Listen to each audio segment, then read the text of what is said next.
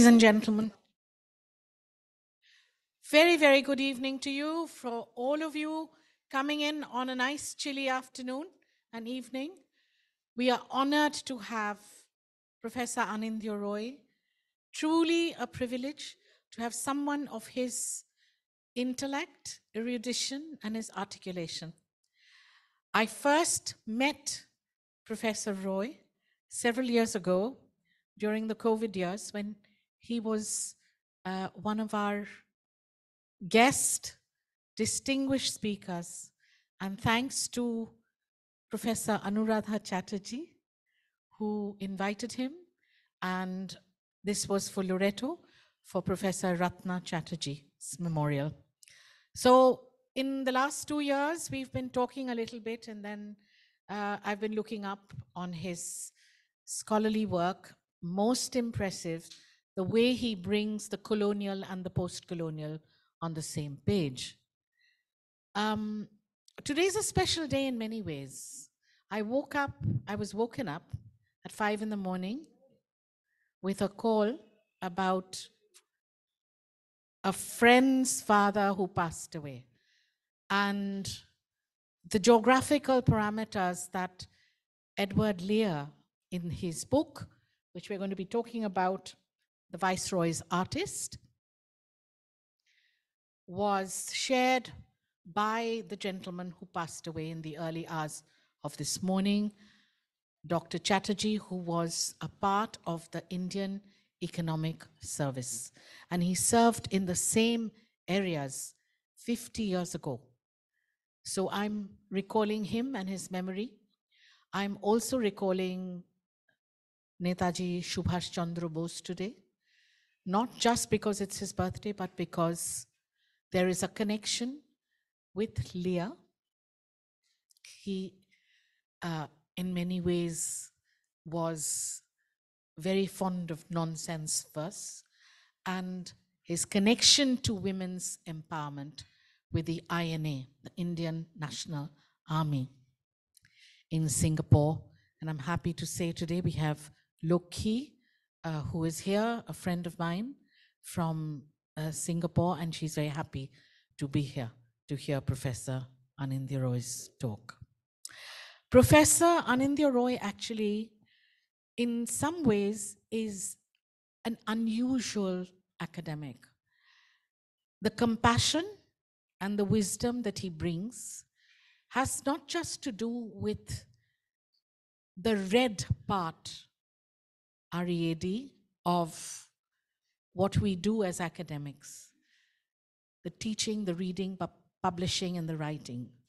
But as Professor Emeritus, and I'll get to all that he's done before this stage in his life in a second, I would like to acknowledge that he's trying now to spend more time in the same spaces as people such as Edward Lear had done in few years of their lives in their visit to India by improving the lot of those who will be bettered in their experience of being educated in Kalimpong. And you have a school there that you're assist. Yeah. Okay, so to give you a part of the Monty of what Professor Anindyo Roy is about. I will take a few minutes, and I think all of that, all of the people who are here today are here because they have a connection with Professor Roy. So I beg your indulgence for a few seconds to see how his life and his work are connected to someone like Edward Lear. Professor Anindyo Roy went to St. Paul's, the school, a Catholic missionary school, which was about 35 kilometers from Rourkela. Then Delhi University, and I think it was University of Texas at Austin. And then you went to Yes, at uh, yes, at Southern Methodist University uh, in Dallas, if I'm not mistaken. Yeah. Dallas, Texas. And then he was grabbed by Colby College, and his contributions are well recorded there on critical theory, history, and literature. He did uh, teach courses, 19th century and early 20th century, on E.M. Forster, on fictions of empire, and women writers of the global south. But what interests us, I think, on the compassionate side and on the human interest side of a man like Professor Roy is that he was raised in a small mining town near Rourkela where the mines are run were run by Bird and Company. Many of you will remember that company. His father was the chief medical officer in charge of setting up the healthcare system for women miners. He was instrumental, his father was, that is, instrumental in setting up daycare centers for women miners, for which he had to train a staff of indigenous Adivasi women. Not an easy job. The trainers were Anglo Indian nurses, and he brought help to women miners and their children and opportunities which they would not have otherwise got. And I think this idea of service stayed with him in many ways. If you see what he is doing now, uh, which is actually putting his money where his mouth is, and facilitating education in Kalimpong. In uh, his afterword, he says, the more I followed Lear's itinerary of travel, the more I was able to explore Lear's world of memory and desire. He invokes Virginia Woolf and Mrs. Dalloway in his afterword and I think it touches many of us scholars because we know that by examining the silences, the ellipses, the lapses, and what goes on between the lines, and under all that nonsensical verse, the pain of being isolated, the pain of poverty, was what Edward Lear had within him very deeply entrenched. So before we go on to the rest of the evening, I think it might be a good idea if you got the trajectory of what we will try to do. I will first invite Professor Roy to say why, what, and where about this book, The Viceroy's Artist. And then we will go on to a Q&A, which I will try and pin him down on a few things which he might want to unveil for us. And then we will open it up to the floor and to our hybrid friends who are watching. So without further ado, um, Professor Roy, please take the floor. একটু on করে দিয়ে যাও Good evening, friends. Okay. Uh, thank you, Julie, uh, for that very warm introduction. Um, I must thank Bengal Club for giving me this opportunity to present my work. I would like to begin by saying that I am not a writer, I write. Uh, and I write out of an impulse to explore, out of an impulse to transform, and out of an impulse to get others interested in the world. Uh, and Lear provided me with a wonderful opportunity to do that.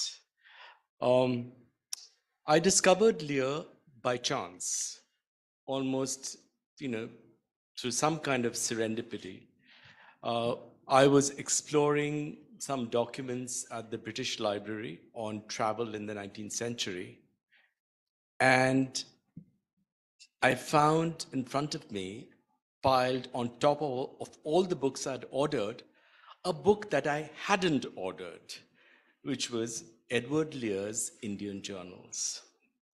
For those of you uh, who know the British Library, uh, they turned to electronic keyword search methods around the time when I was doing my research. So clearly, that book fell within the rubric of the keyword search that I put in. And so there it was. Um, I had known Edward Lear because I am a scholar of the 19th century. And ever since I was a child, I was familiar with Lear through Sukumar Ray's Abol Tabol.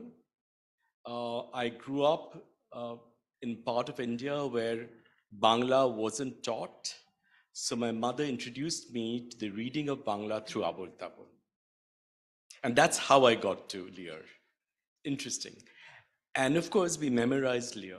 But when I first encountered the journals of Edward Lear, I was a bit surprised because I had heard that he had been to India, that he had spent nearly 14 or 15 months in India, and I had read about his travels in uh, some of his biographies. But I didn't know that he had left behind him 260 odd pages of journals. So, uh, what I found at the British Library, of course, was the first printed version of the journals.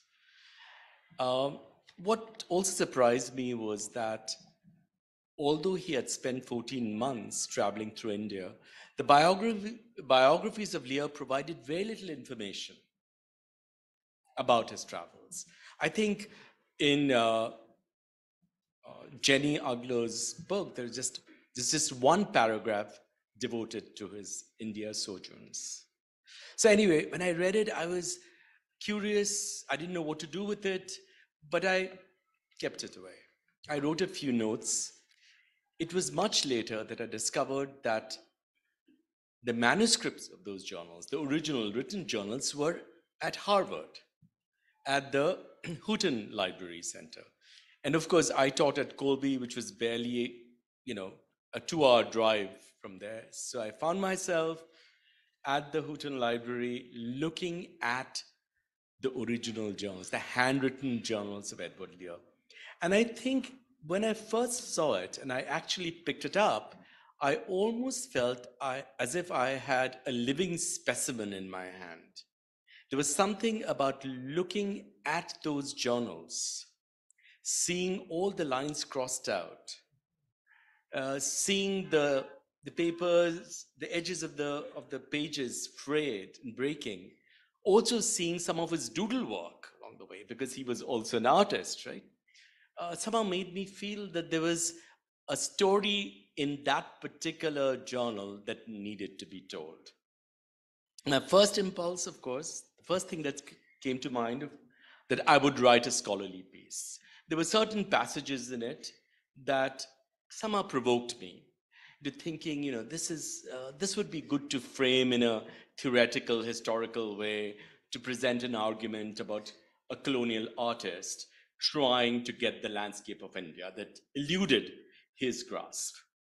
But as I was writing, somehow I lost interest and I forgot about it. Till January 2020, I was back in Kalimpong, wandering and looking at the Kanchenjunga rise above the clouds, you know, the shimmering slopes and the color and all of that. And this was the time when I was with my students from Colby because I designed and set up a Himalaya program for my college where I taught, where I brought about 15 to 20 students every January to explore the Himalayas. So that year, because I had announced to Colby that I was going to leave, I was going to quit teaching, uh, the institution asked me if I could have someone shadow me you know, to explore whether it would be possible for someone else to pick up the program and keep it running. So there was Sarah Braunstein, who is a fiction writer, an American fiction writer, who also taught fiction at Colby College in the Department of Creative Writing. She was the one shadowing me. So I expressed to her, you know, there's a strange conjunction between seeing the Kanchenjunga rise and thinking about those journals. She got interested and she asked me to show her the PDFs of the journals. And she came back to me, she read it, she said, you know, this calls for retelling. Don't try and do anything scholarly with it now. You know, retell it. Historical fiction is a growing genre, and I looked at her face and I said, But I've ne- never written fiction. I write about fiction. I don't write fiction. And, you know, those two things involve two very different activities of the brain. One is much more analytical, the other is more, more creative, where you have leaps and all of that, and much more motive. Um, of course, at the heart of both is a feel for language. You have to understand how language works. So anyway, I went ahead and did a lot of research thinking I would eventually produce a scholarly article, and I never did. Instead, during the lockdown, I started writing. And I don't know what came over me. I would get up in the morning. I'd been thinking about Edward Lear. I'd just finished reading his second biography, the more recent one. And I just started writing, and there was the original journals, and there was me spinning this. And the way I spun it was uh, thinking, what would it have been for someone like me to have shadowed him, looked over his shoulder, seen the same sights, experienced the same kinds of things? He traveled quite a bit. He was commissioned, of course, to do uh, a painting of the Kanchenjunga by the then Viceroy, Lord Northbrook Thomas Baring. So that is where it all started. I wrote the draft, I just dashed it out, I sent it off to many of my friends who write fiction, and they said, Well, this is really interesting. You need to work a little bit on this, a little bit on that. So there I was, you know, revising, modulating, altering, throwing out entire chunks of stuff that I felt I'd written at that time, but somehow didn't fit into what I was doing, which is writing historical fiction. Brilliant. And that's the story. Brilliant.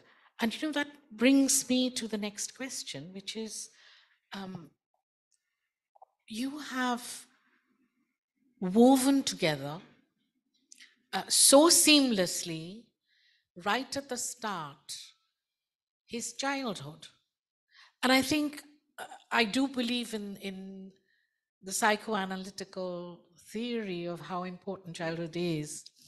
And for many of us who would know, uh, his father went to debtor's prison. So it was a story of poverty, of challenges of many kinds. So the family was in, in a way split up because his older sister Anne took him and started a home where they could sort of live together. But he asks, I think, and, and you have brought this so much to the fore when you say that what was really his home, he wondered. And Anne and he moved out. The father was in prison, and there was no real home where you could smell the smell of Sunday stew or even see a cat on the rear window sill. I think the journeys that you talk about that happened throughout his life, at every point, he wondered what it was to have a home. And I think this sort of gently moved into his life where he sought, as you say so poignantly, a life partner uh, and friendship. And he wanted to marry and have a family, which never really happened. So, um, my question to you is the beginning of the book, I feel, is extremely strong and it grabs the reader. And that is the most difficult part, I think, of writing a novel because you tend to get distracted. So, how, how did you figure out that this you had so much information and you you know you had the archives you had the journal you had so much stuff and you realize that even in the beginning when we read your uh, first few pages of um, the viceroy's artist it it was not a lack of trying uh, that didn't get him the kind of wages or a position because he was an extremely gifted artist from age 16 Yeah. right so would you like to tell us a little bit about how you arranged the material Yeah. Well, I started.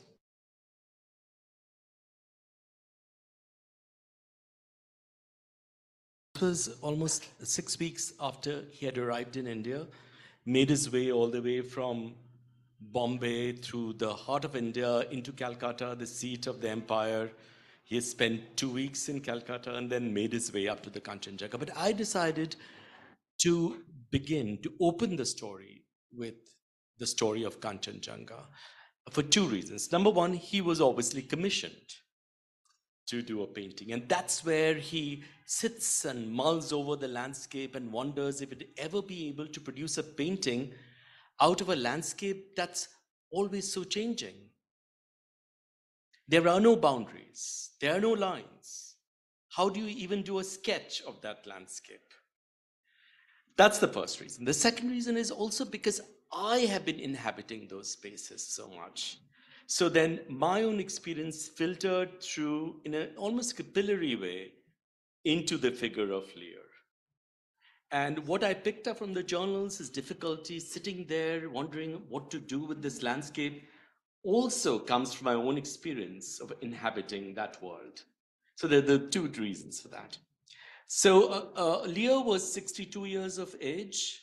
He was arthritic. He suffered from epileptic fits and heart condition, arthritic, and his left foot was shorter than his right. So we're talking about a man who was very frail. And he undertook this journey at the age of 62 in 1873. Of course, he was accompanied by a manservant. But I think something about that fascinated me. I said, how much courage you would need to be to muster up, you know, the energy to travel so much on pony carts, on hand-carried carts, on trains, uh, to be able to do something like this. Of course, he's he was he always wanted to visit India, but obviously couldn't afford it till he received the commission. It was the commission that allowed him to come to India, right? So I was really, in a way, fascinated by that, by that energy. And as I found myself walking up and down the Himalayas, running out of breath, and I was not even 60 at that point, I realized how did this man do it in 1873? There was that part of it. Absolutely. absolutely. Um, Anindyo, can you tell us a little bit about what I found fascinating is I remember, and I was just talking to uh, Professor Moitro here and to Anasuya, um, many years ago, I must have been in my teens, um, either at the Tate or at the National Gallery in, in London. There was a showing of his sketches. And I never understood. Yes, yes, yes. And before I read this, and Lear was never in, uh, was never a frontispiece for me because I'm a post-colonial scholar. Yeah, But even then, uh, the nonsense verse is Yeah. amazing. Yeah. But the point I would uh, like to share with the audience and ask you to comment on is some of those uh, framed, the- what would they, what would you call them? The- The washes. The washes. Yeah, brown ink and Yes, charcoal, yes. pencil and charcoal, and just a little bit of water. and he, washes. yes, and he would have a little annotation. Yeah. I I wish I was smart enough to know how important that was, but I didn't, and I missed so much of it. Can you tell us uh, a little bit about that and how you would connect it to what I again find uh, singularly expressive of you to have picked up all the descriptions of the Kanchenjunga when he's painting the Kanchenjunga, he is thinking of Mount Etna and other mountains he's been to.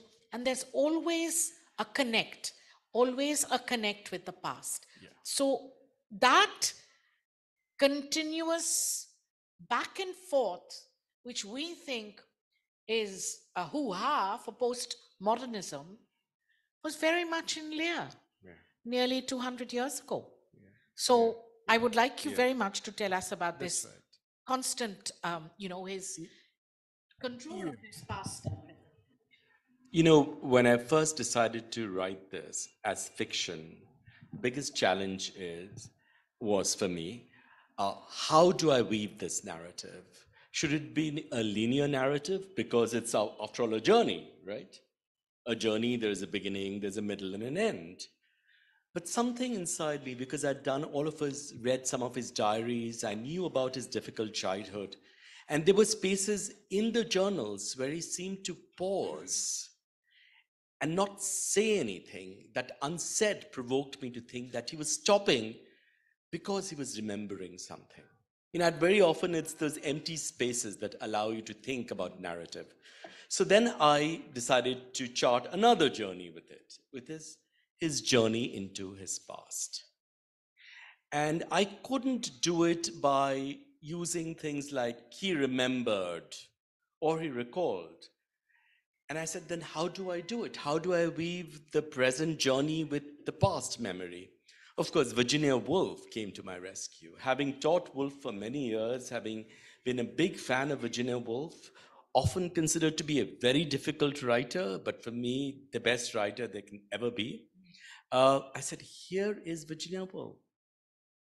So she literally led me by the hand, and I said, okay, this is how you do it.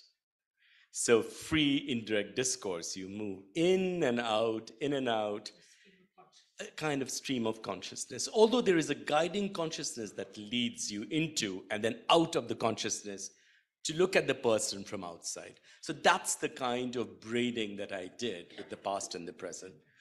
And that is where the childhood becomes important. You know, as an adult, he dealt with loneliness because he moved, constantly kept moving. He traveled through the Balkans, Albania, you know, uh, the Holy Land, Egypt, Italy, France, but he really didn't have a home as such. He left England when he was quite young and he kind of moved around and eventually settled, of course, in Italy, where his grave is in San Remo. And so this, you know, quest for a home remained a real thing for him. And I thought I could use that as a kind of a device to connect. You know, he, he's after all a stranger in India. So the feeling of being the outsider, of being a stranger, not knowing the world, I think resonated for him because this is something that he had experienced, you know, in his own life. And that is what I also thought of braiding through these two journeys the external journey and the internal journey of dreams and memories. Well, on a close reading, I would love you to read for us page 32 and 33, where you talk about his uh, sliding in and out. And it is so seamlessly done. It's a pleasure to read how many of our writers today are constantly trying to do that, break the paradigms and the geographies. Yes, please. Yes, yes, yes. Uh, they're walking, and you know, walking is not an is not an not an easy task when you're up in the Himalayas, and he is in Kurseong at this point. This is where he first he gets his first big glimpse of the Kanchenjunga, and this is where he starts sketching.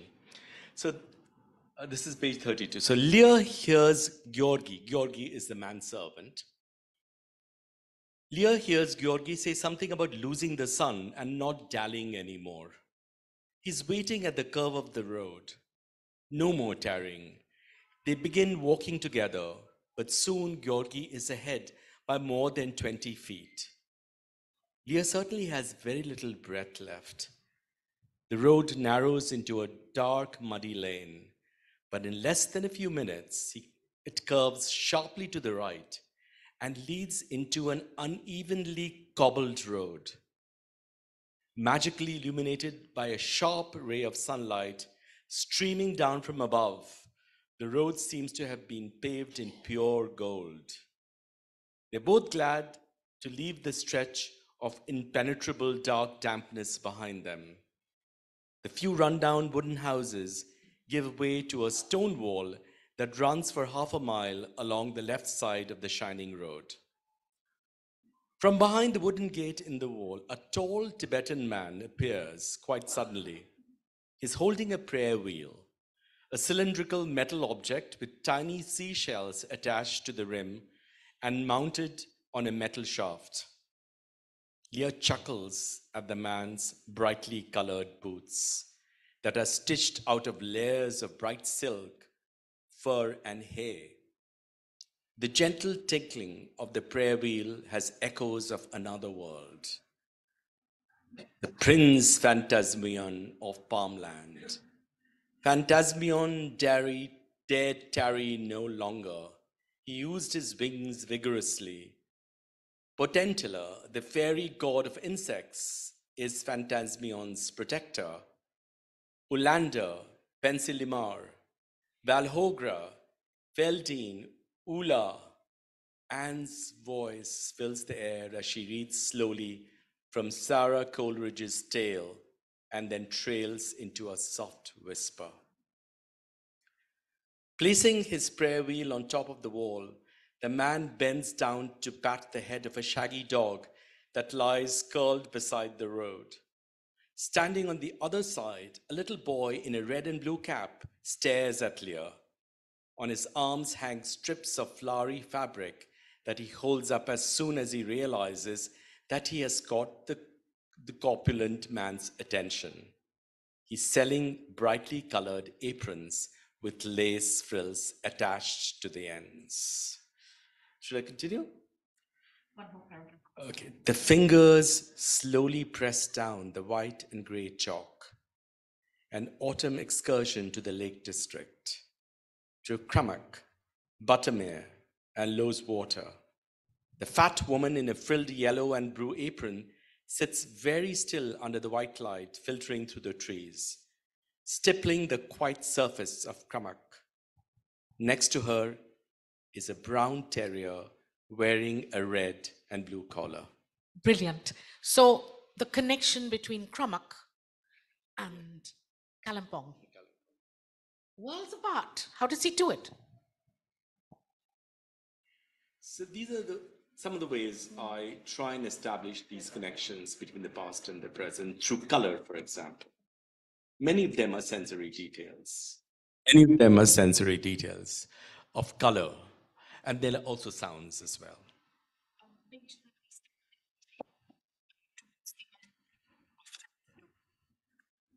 Thirty-seven. Wow. Okay. The shattering of glass. Mm-hmm. Well, they're walking, and of course, they see two women selling these very exotic looking fruits. They hardly look like fruits. Georgi places the bunch back in the basket. They're fantastic fruits sold by the goblin merchants. Lear exclaims under his breath, picking up the bunch again and running his fingers slowly over the taut skin. Goblin Market.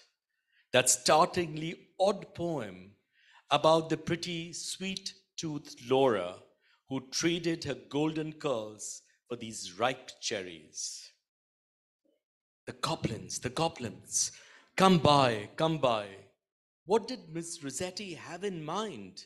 Lear continues to mutter under his breath while the woman with the diadem smiles at him. Fruit not for eating, medicine, poison. The woman takes the bunch of berries from Lear's fingers and puts them away in another basket.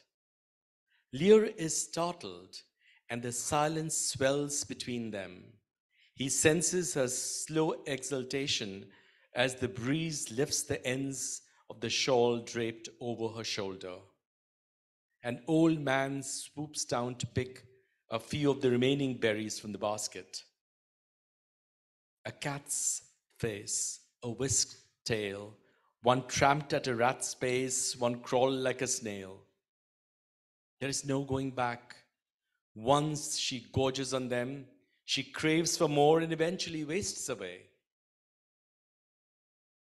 Georgi is not surprised by his master's mutterings, having caught him uttering on more than one occasion poetic lines inter- interspersed with words drawn from some magic formula found in old scrolls. This is from Goblin Market, for those of you who don't know Goblin Market. It's a remarkable poem by Christina Rossetti. The shattered glass, of course, uh, is a metaphor here. It connects us back. If you read the book carefully to the beginning of the book, where they are so poor that when a window shatters in the house, uh, the they don't have money to put a new window there or a new glass pane, but to stop the draft coming in in England in winter, they stuff it with some old clothes. Yeah. Um, moving on to another uh, skill that you have very uh, adroitly, I would say, employed is the cameo appearances of people such as Tennyson, such as Lockwood, Kipling, our own Kipling's father, who was uh, the head of the JJ School of Arts. So, did you actually find these in your archival material, or did you have to dig a little and put your own? The two kind of uh, figures that I animate through my fiction. Unnamed figures, uh, for example, he meets a member of the Bengal sappers in Darjeeling. And all he mentions is that uh, he was quite irritated by the presence of a man boasting the triumphs of empire. Uh, what I've done is I've fleshed him out completely, and it's obviously through satire. Uh, then there are other figures uh, that are shadowy figures in the journal that I have fleshed out. Um, what about Queen Victoria? Queen Victoria. Now, Queen Victoria appears because Edward Lear was a tutor of Queen Victoria, but for two weeks. Uh, Queen Victoria couldn't really develop her artistic skills, uh, and, and Lear discovered that, I think, by day three. Uh, but, you know, since he was employed by the Queen, he remained for two weeks. So I have Queen Victoria appear also in these little vignettes and memories. Similarly, Tennyson, Tennyson was a very close friend of Edward Lear. Edward Lear wasn't a rich man, but because he was so talented, people were attracted to him. And members of the gentry, Lord Derby, for example, you know, Tennyson, Holman Hunt, the poet, all of the, even Rossetti, the painter, knew him quite well. So he somehow managed to make his way up through. Um, so Tennyson was a very good friend. So Tennyson appears, and of course he meets uh, Kipling's father, Lockwood Kipling, uh, in Bombay, and it's a scene where I elaborate uh, quite a bit on his interactions with a, a very well-known colonial figure uh, in uh, in the 19th century. Yeah. Um, a word about your, uh, you know, your very descriptive passages, which uh, my book club members pointed out to me right in the beginning. They read your book before I'd finished it. So, and they enjoyed it, and they said it's a totally different kind of book. Um, and I'll just, if I may, just share with our audience. Uh, I don't have the page number here, but tell us how you thought of this. I read and felt uh, mountain ranges, which you talk about, transform themselves to a ribbon of crumpled satin. You know, it is these very uh, eclectic, uh, very, very different kind of ways in which to configure how to describe something, which makes it a very special read.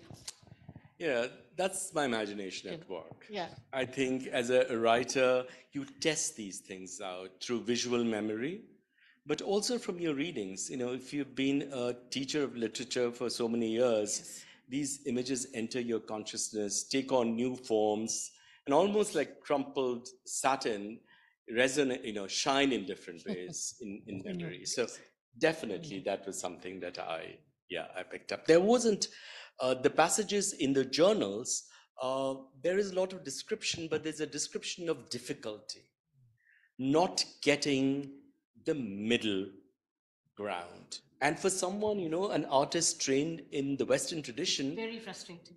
if you don't have the middle ground, you cannot do a painting. And so, and that is what I found really fascinating. He really agonizes over it. And even when he's describing the landscape, he'll go back to the fact that there is nothing but emptiness in the middle. His um, talent in portraying almost palpably the spirit of parrots. Uh, so, in some ways, in his mind, he was an ornithologist. He, you know, and he knew so much about animals and birds, and he worked with the zoo uh, Yes. in England, right? Yeah. His love of uh,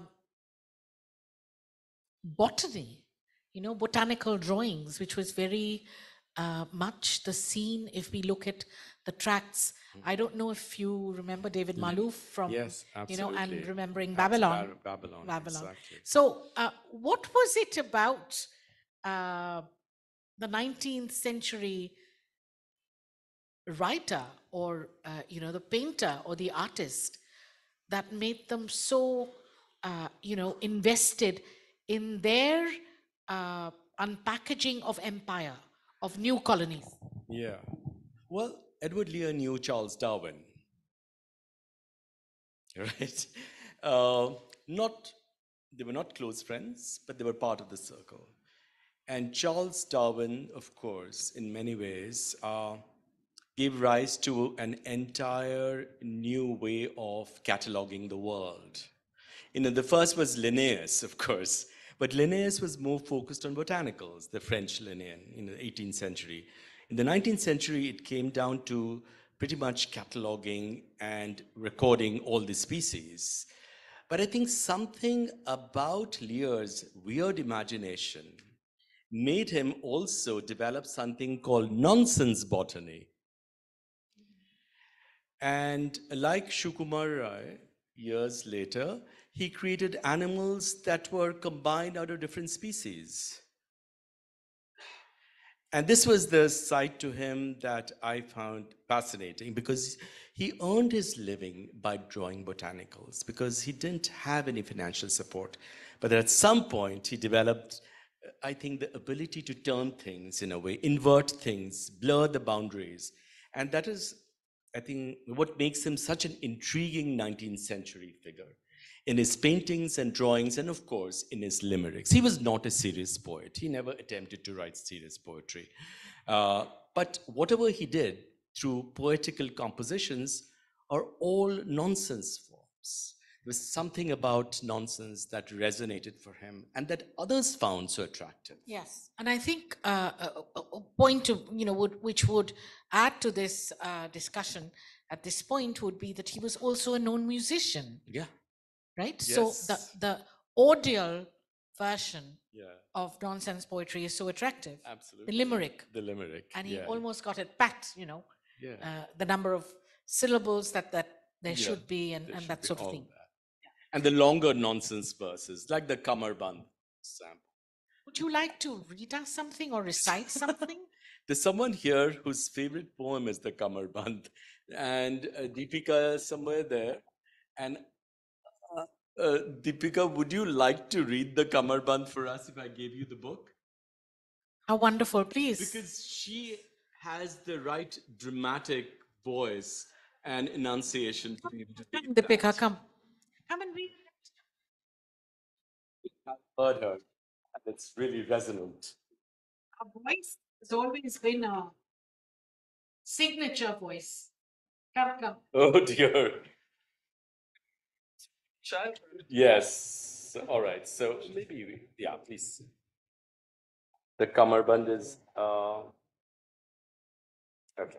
Of course, the cummerbund in your book stands for something else also. Also, Yes. yeah, yeah, it does, Would you- it does. Yeah. Let me, Why have you- why have you sprung this on? that's because I heard you enunciate the first passage of the Kamarband and it was amazing. Okay, now, uh, if I can find the Kamarband, it's there in uh, Edward Lear. You know, it's, it's a nonsense. Why am I just?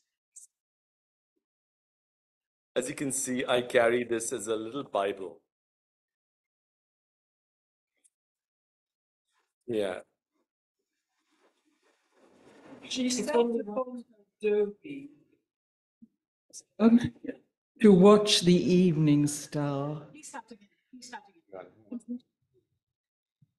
Start again. I'm sorry. I'm, I'm really sorry. I've gone up. Okay, here's the camera. Done. There we go. She sat upon her dobie to watch the evening star, and all the punkahs as they passed cried, My, how fair you are! Around her bough with quivering leaves the tall kamsamas grew, and kitmutgers in wild festoons hung down from chokies blue. Below her home the river rolled with soft, melodious sound, where golden-finned chaprasis swam in myriads circling round. Above, on tallest trees remote, green ayahs perched alone. And all night long the mossack moaned its melancholy tone. And where the purple nullas threw their branches far and wide, and silvery gariwalas flew in silence, side by side, the little beastie's twittering cry rose on the flagrant air, and oft the angry jampan howled deep in his hateful lair. She sat upon her dobie, she heard the namak hum, when all at once a cry arose, the cummerbund is come. In vain she fled, with open jaws the angry monster followed, and so, before assistance came, that lady fair was swallowed. They sought in vain for even a bone respectfully to bury. They said, "Oh, hers was a dreadful fate, and Echo answered, very.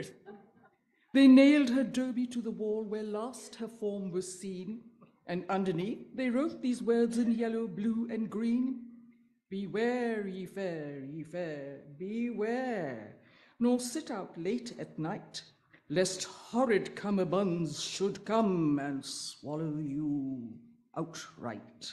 Thank you.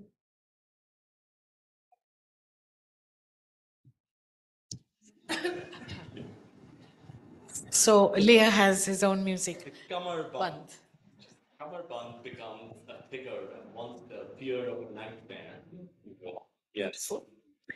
Um, so would you would you like to tell us a little about the food imagery that you have? Not too many, but I think it's fascinating because the, in, within the first few pages, I found the boiled tongue and broccoli, which was overdone, which reminds me of a certain Dr. Mehta here who always comments on the broccoli, which is not quite right.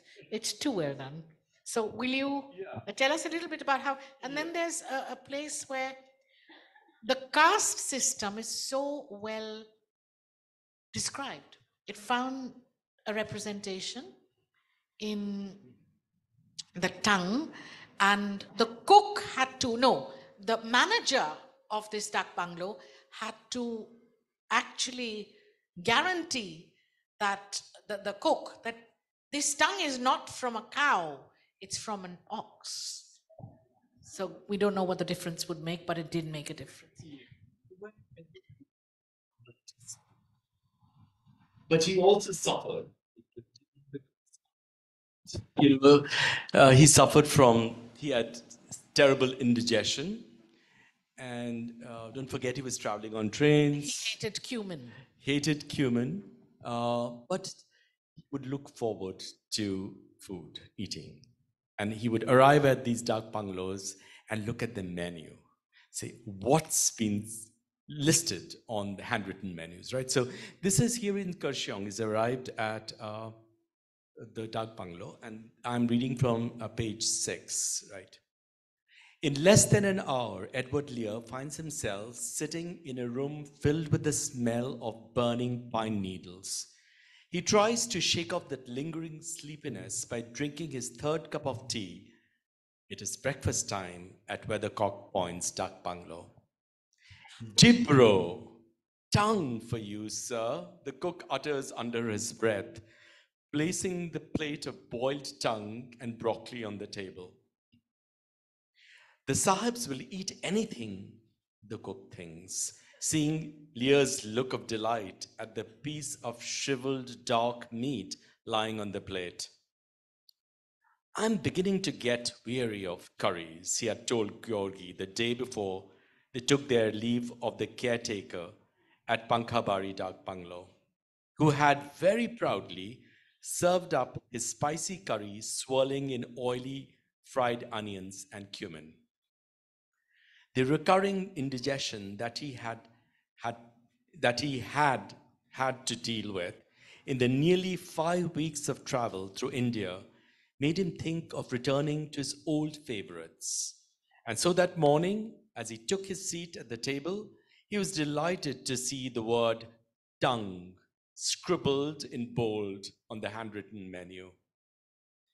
And the overcooked broccoli served next to the tongue does not look very appetizing, but Lear is glad that a large bottle of sherry and a smaller bottle of what the manager calls local wine stands next to the plate. Skins, and, and that's where this is the first instance. And there are many other instances of him thinking about food as he travels. You also have picked up on cartography, you know, the idea of empire being charted, the idea of how that macrocosm is reflected in the microcosm of, for example, Hooker, uh, a friend of his, with a map, Kabru, Rathong, Krokatang. So the words sounded like a description from Fantasyland. Um, what do you think the maps do in your book? This is the first instance, I think, where Lear remembers visiting his friend Joseph Hooker, who was a very well known botanist who came to Darjeeling in the 1840s. And Hooker was uh, famous Uh, because not only was he a botanist traveling through Darjeeling hills looking for rare orchids and other plants, he, was, he also strayed into Sikkim without permit and was arrested and imprisoned. And the governor general had to send a special request to have him released. So Joseph Hooker is Edward Lear's friend. So when he comes to India, Joseph Hooker sends some letters through him. And in one of his letters, he mentions meeting Hooker before his India travel, just as a mention. So, what I did was dramatize the meeting. Said, how would the meeting have been between Hooker and Edward Lear, who had never been to India but was going to, and, and, and Hooker, who had such a, an interesting life, you know? Uh, suspect of being a spy. But anyway, so in one of the scenes, uh, Hooker takes out a huge map of the Himalayas, the northern fringes of the empire, and then he puts his finger on all of the peaks and enunciates the names. And Lear just hears those sounds, but to him, they sound like, again, you know the sounds that he had invented the words that he had invented or the the words that he encountered in the poetry of sara coleridge and others too. So there was that kind of familiarity. So this is the first instance of maps and then much later when he's in hyderabad uh, uh, you know he actually witnesses a darbar the nizam's darbar there. And he, I think sections in his journals, he elaborates quite a bit on what he saw there. So I didn't have to really exercise my imagination a lot. All I did was dramatize those scenes a little bit. But there is, again, it's a vassal state. The Nizam is under the British. Everything, including the railways that the Nizam owns, has been sanctioned by the British. So he's also thinking about what kind of a world is this as he because he you know doesn't realize that the empire has just so many layers to it. There's administrative there's educational there is also all these treaties signed by vassal states uh, and and he kind of thinks all of this is really nonsensical in many ways right? So he goes into cartography there as well yes. So you're the author of Civility and Empire, Routledge, 2004, and and you know, it's no surprise to many of us to find that you chose Lear, compassionate, graceful, and certainly has shown us that there is enough civility in him. yeah, yeah, but I found his weirdness to be more attractive, really. It's the weirdness that moved me, and, and a weirdness to find in an age that believed in a certain kind of order and decorum, Formalism. and for maintaining the exterior, you know, forms of civility. He is actually, in many ways, goes against the grains of civility, but he has compassion. So, again, a figure that inspires through all of these contradictions uh, that allowed me to really uh, use him as the central figure, the protagonist of this book. Is there a piece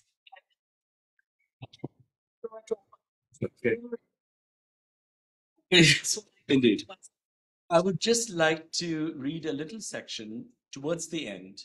Lear has been agonizing about how he will ever produce an oil painting that is going to be nine foot by four foot. That's a large oil painting for someone who hasn't been doing a lot of oil painting because painting in oil required a lot of money. Unless you were commissioned, you couldn't do it. And you know, someone special, someone like Lear. So what I did was throughout he agonizes, but at some point I had to give him a vision. He's been dreaming, he's been churning up all of these memories. I had to give him a vision whereby he can see what he will produce. The painting isn't done three years after he returns to Italy. But this is where I have him see this image of Kanchenjunga as a painted image, not as a space where there is only emptiness, but a new kind of detail comes in. And this is ways this is where I felt uh, that there is some trace of magical realism. absolutely, absolutely. Um, so, oh yeah, of course, the mind. Let me see. I get the page first. It's towards the end. Uh, I think it's page eleven. Is it? Page two. One, one. Oh no, the fall. Yeah, yeah. It is on the final vision of Portrait. Okay, so this is 259. Actually, he is uh, in Tuticorin. He's waiting to catch a ship that will take him to Ceylon, and uh, he's thinking about uh, his past, well, immediate past. You know, the travel through India.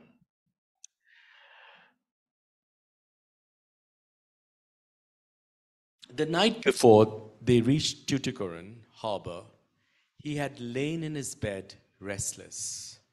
It had been a long day of packing and travel. The call of an unknown bird had woken him just when the early light entered the room. At first, all he could sense was an impenetrable darkness, a blankness of sorts. It was as if his mind had emptied itself of all forms, all shapes, all colors, even sounds. From the half darkness, he saw a shape. The Leviathan surged out of the ocean, awash with colors that he could not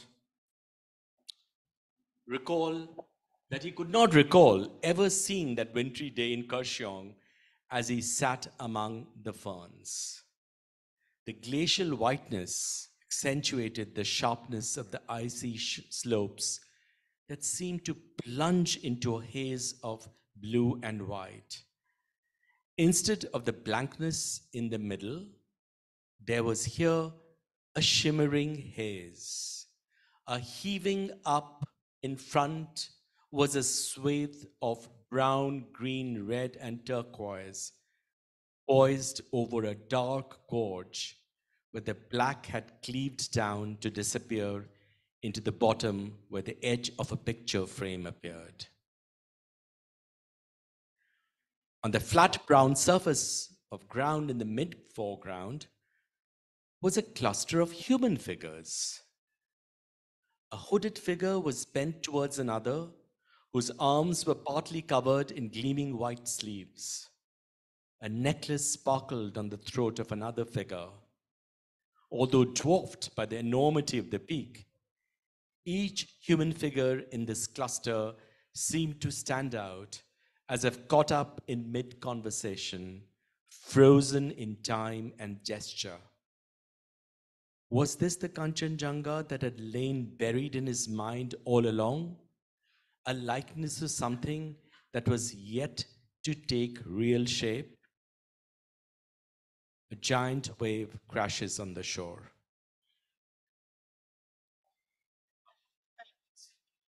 And in your, I'll, I'll take your permission to open it up to the floor. Uh, and if I might impose and ask Anasuya uh, to go first from our book club, avid reader, very insightful. Would you like to come up, Anasuya?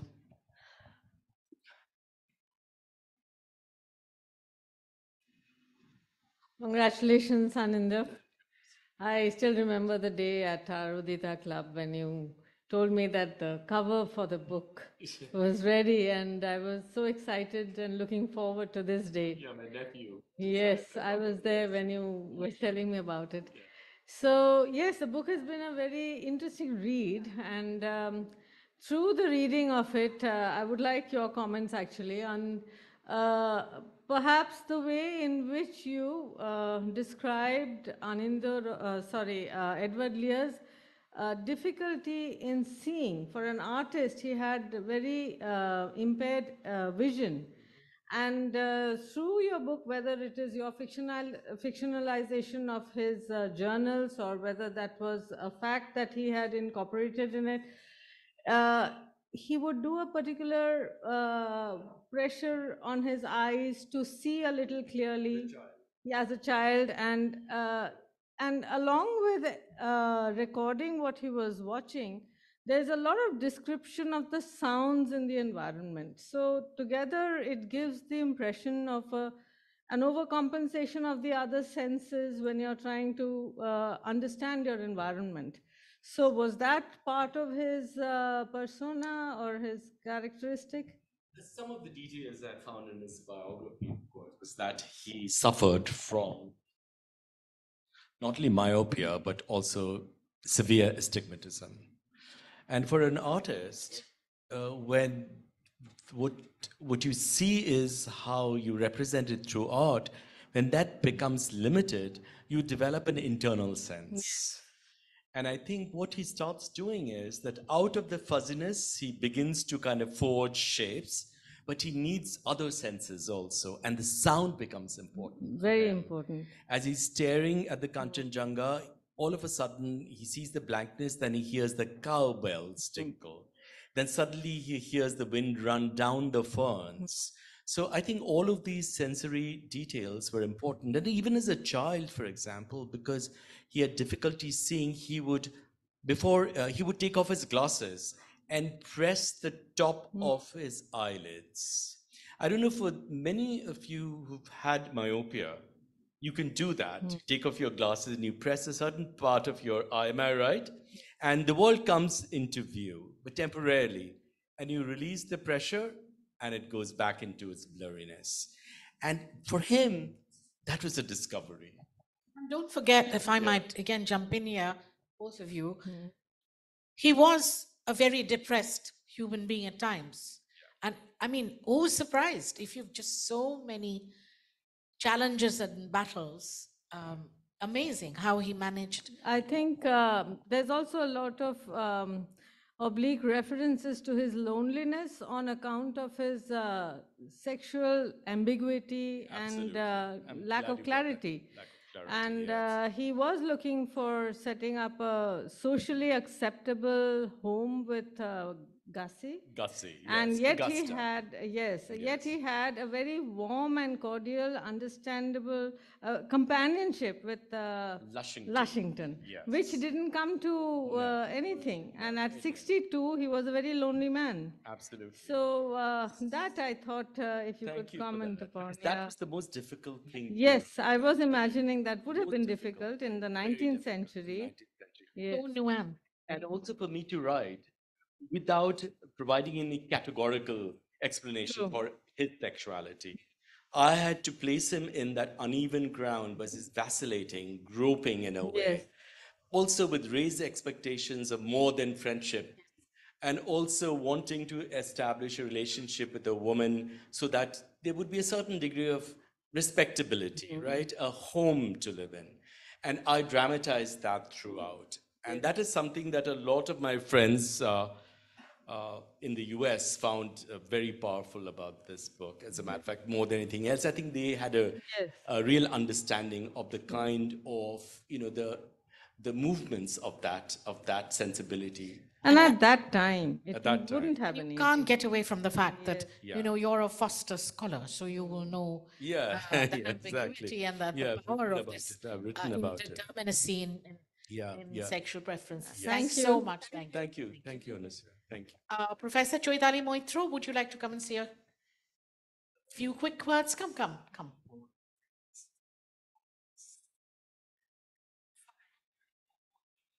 Congratulations, Professor Roy.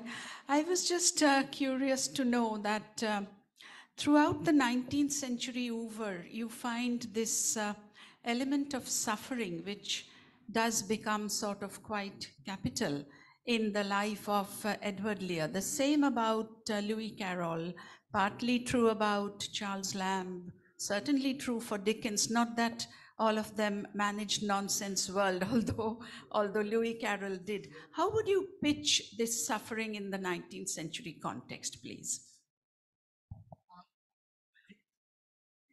Obviously a historical explanation for it. Uh, you know, this was also the time of what you might call a certain belief in uh, the aspiration, the individual aspiration, the aspirational ethos that comes with capitalism. Um, but there were also lots of boundaries and pressures placed on people to be able to regulate themselves. If you have read Michel Foucault, you know how that works, right? How you learn to regulate yourself. And the regulation inevitably leads to little pressure points where things kind of come out, spill out. But you're not fully able to articulate it. Just maybe gesture towards it a little bit, but that's about it. Uh, Christina Rossetti, same thing. yeah. with Edward Lear, I felt that uh, here was a man who traveled so much, loved his food, right?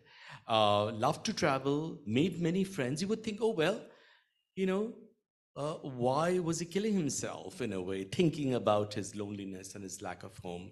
Because in many ways, I think what he saw or all around him was a kind of a settled aspirational ethos. People achieve a certain thing and go beyond it, whether stability of marriage or a household or children.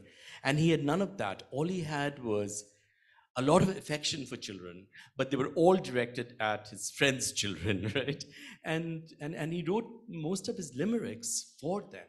Interesting enough, he never had any. children. Yes. It's probably the same thing in the postmodern context. Yes. that we hide behind, you know, whether it's social media, whether it's gizmos, whether it's video games, not being able to find that succour and that kind of bond that you would want yeah. in a family Yeah. of your own. I think that's, you really feel the pathos. yeah, you do. So, um, Arish, Dr. Mehta, would you like to? Yes. Very quick, please.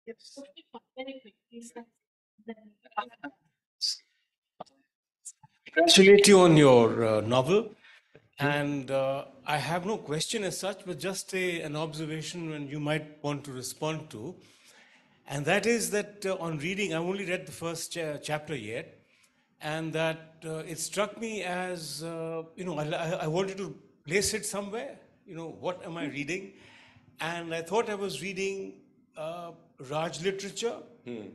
And then when you went into the details of, uh, you know, juxtaposition of uh, an imperial person with a domestic staff, I, I thought of uh, Somerset Maugham, Far Eastern Tales. And then, you know, I, I haven't gone deep into the book to discover if there is racism uh, or if there is, uh, you know, regular thrashings of the white, by the white man of the other, you know, no, which, which isn't. George Orwell Yeah, no, no, we don't get that. in no. Yeah. you know, the, the, the club where they would. Oh, uh, yes, absolutely. The Burmese. yeah I, I can't say it in No, a club. What, what used to go on? Yeah. A lot of violence in George Orwell. definitely. Right. So, so, I, so this is how I see it, and I, th- I just think that the book uh, will find its way in the world as, you know, because of your greatly uh, nuanced understandings of the hills and the hill peoples and their foods, that it will sort of find its place amongst, because it's after all a Raj telling. Yeah, it is. And, and that's what I thought. It is. Uh, thank you very much. But you're certainly right in pointing out that it's my, you know, uh, inhabiting that world and getting a sense of that world, learning the language a little bit, communicating through gestures, walking, feeling the exhaustion of walking, you know, breathing in the mountain air, suddenly seeing the mountains appear, uh, the mists, and also sharing it with students from Colby. Because many of my students who are also the first time, you know, in India, uh, they shared some of that. And Yael was uh, one of the speakers at, uh, I think years ago in 2017 or so. And they shared that with her as well. I think sharing it with a larger group allows you to see things from a multifaceted perspective, as opposed to be a singular vision of me doing this seeing. Is seeing in a relational way that really makes narrative work for me. Excellent. Uh, anyone else from the floor? Yael, would you like to say a few words? Come, please. Come. The floor is open, ladies and gentlemen. If you'd like to make a point about, I know most of you may not have read the book yet, but it'll spur you on to read it. No? Come on. Yeah, tell us about your experience in Kalimpong. At least that you could, even if you haven't. read it. Come.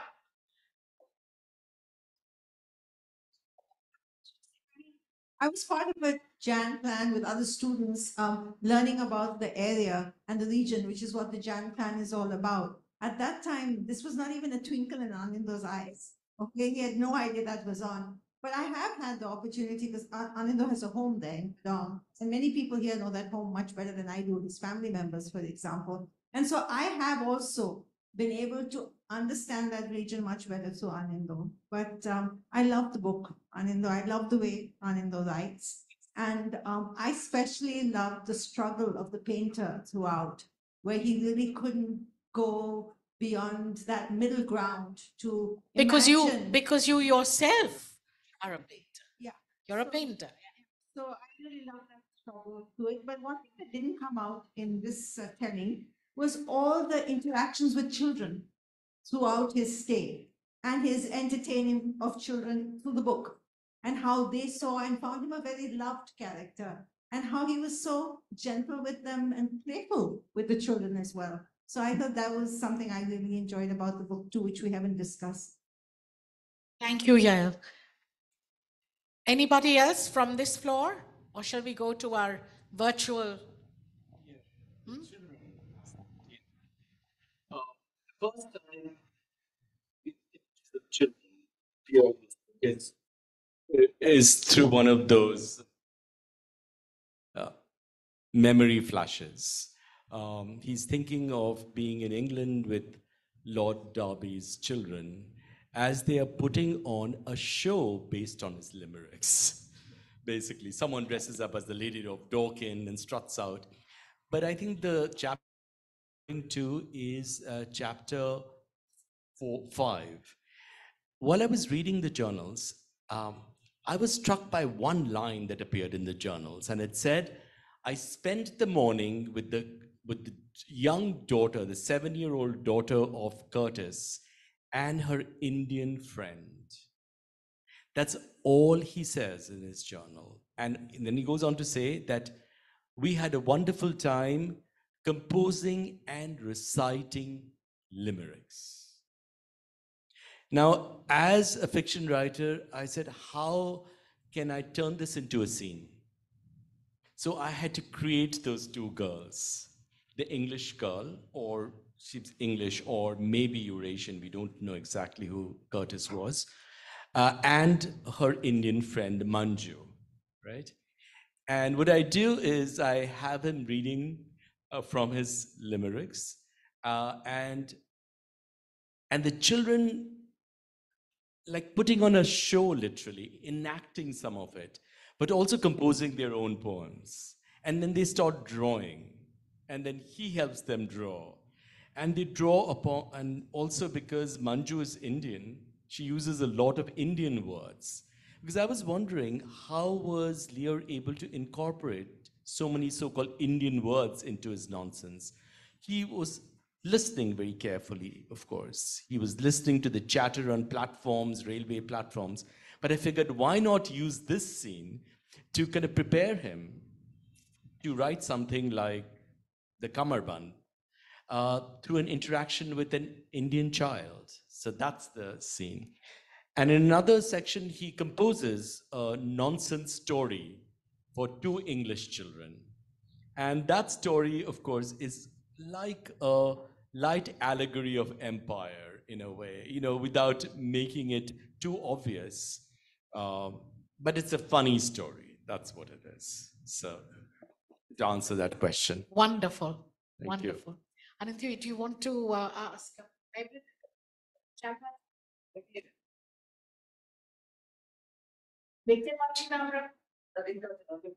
Okay, as soon as you speak, I say Yes. I'll, I'll turn a little bit. Is there a question from my interlocutors from other parts of the world? There's Ratna Raman. Is there any way they can signal that they want to say something? Participants can unmute themselves and they can switch on the camera.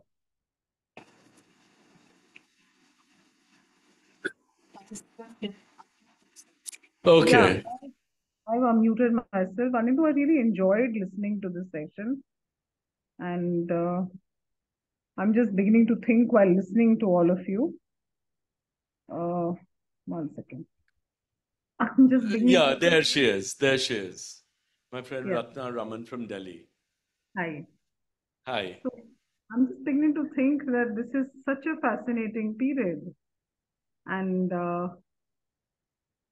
I mean, I'm really looking forward to your session in Delhi now.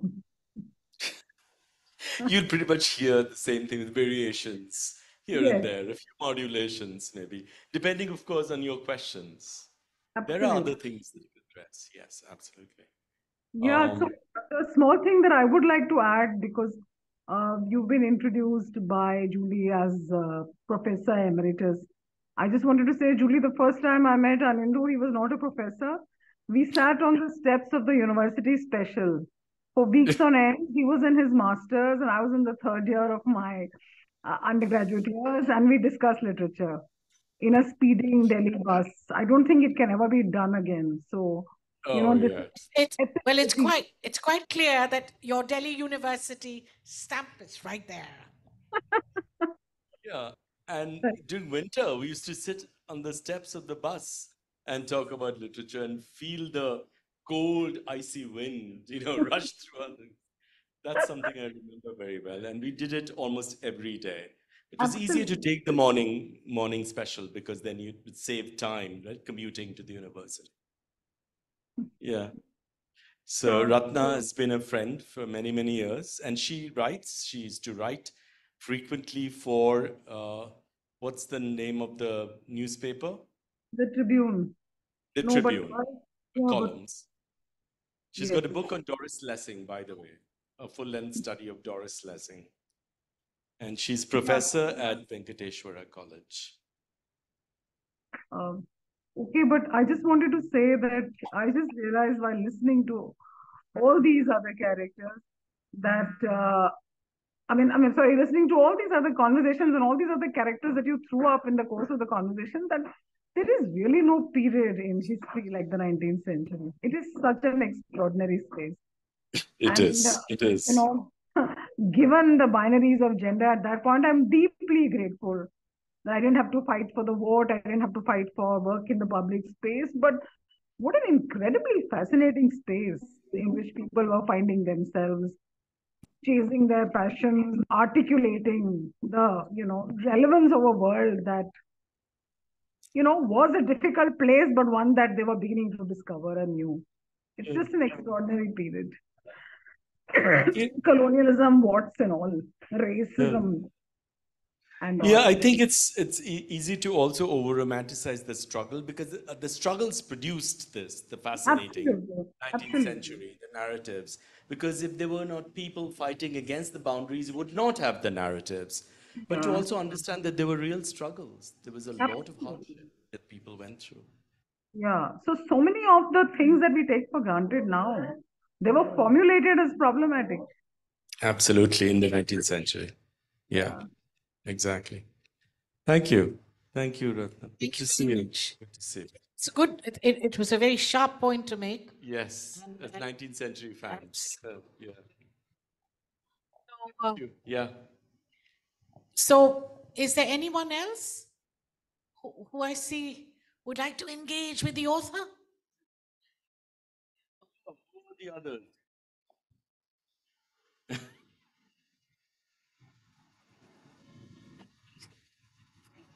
Was it Antonia from Italy, my friend from Italy?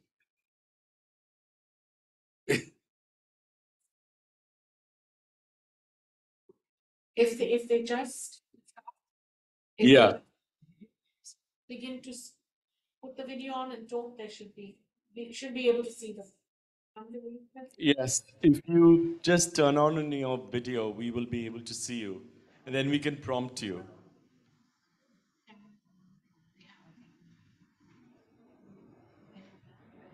Is there anyone else out there? Oh, yes, that's Antonia. Hello, Antonia.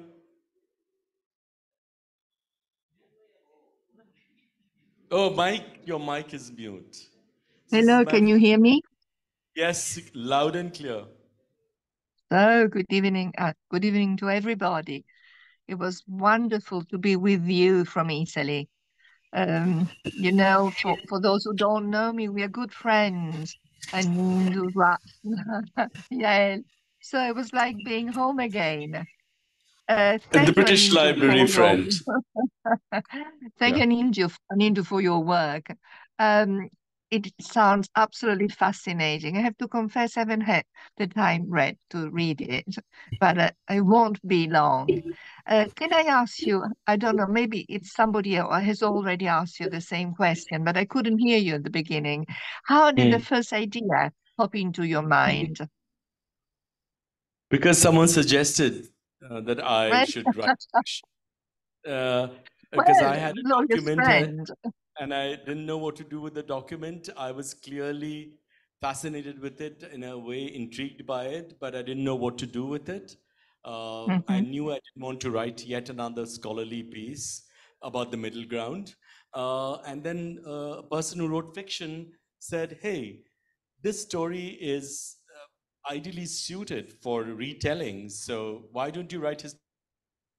And I said, You must be kidding. As I, I told the audience, one writes about fiction as a scholar, but not fiction itself.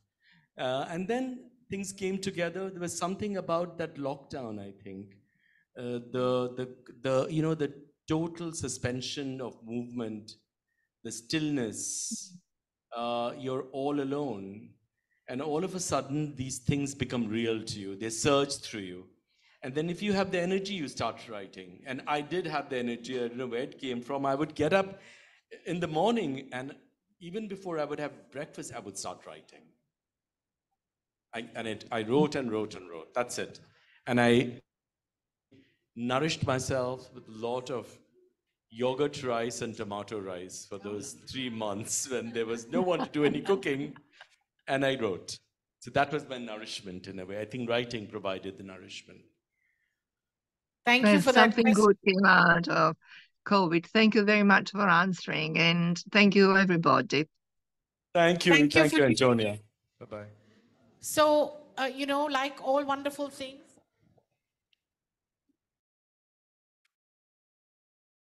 thank you, Anindyo.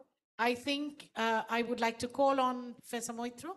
If you would like to give us a little vote of thanks, that would be marvelous for Anindyo. Thank you.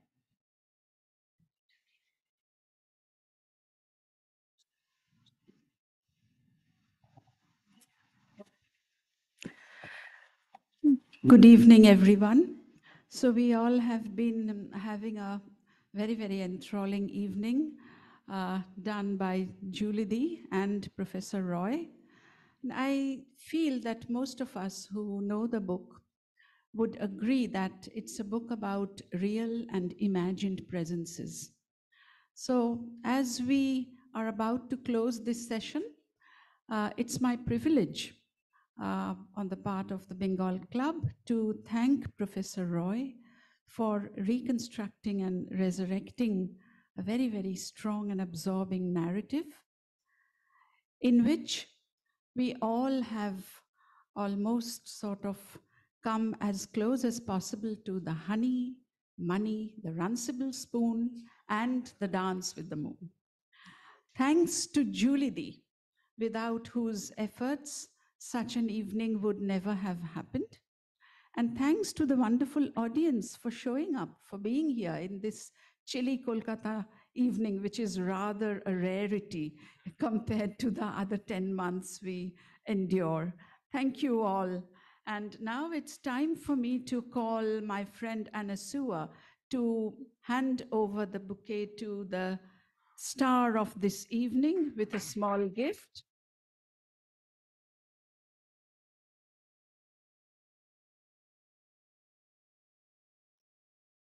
Another one to end the evening for our dear Julie Dee.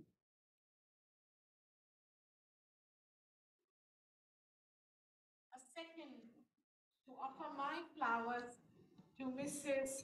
Clara Sullivan.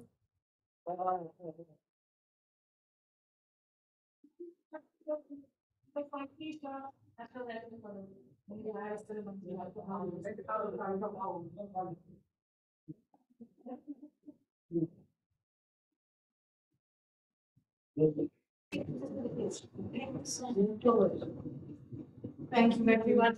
Thank you. Thank you, everyone. Goodbye and good night.